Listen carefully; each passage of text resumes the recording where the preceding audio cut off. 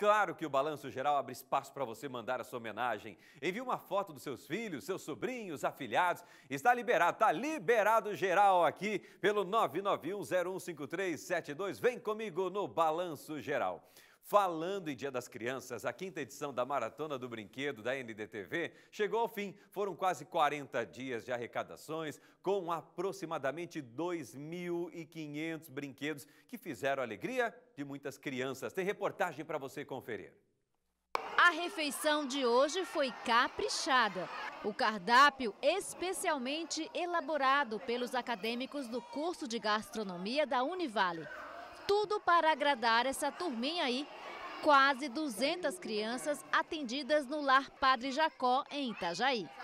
A campanha do brinquedo da NDTV em 2022 teve o tema A cada brinquedo que você doa, um sorriso se abre. Três instituições foram atendidas e algumas brinquedotecas renovadas.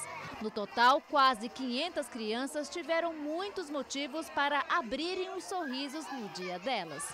Foram quase 40 dias de arrecadações em 20 pontos de coleta em Itajaí, Navegantes e Balneário Camboriú.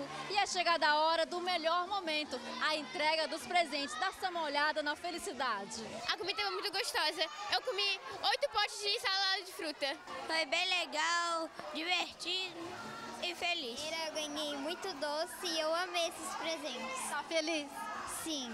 A festa de encerramento da Maratona do Brinquedo contou com atrações, presença de palhaços, pintura facial, cabelo mágico e muito mais. É uma alegria imensa e gratidão porque se não fosse a colaboração, a parceria de todos, nós não faríamos isso não, não teríamos condição.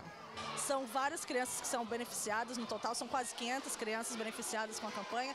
E é um pequeno gesto de outras crianças, né, de outros adultos, que em forma de brinquedo passam carinho também nesse momento que é tão especial para essas crianças que às vezes têm tão pouco, né? Então poder ajudar, poder estar nesse momento de entrega, ver o sorriso delas é gratificante.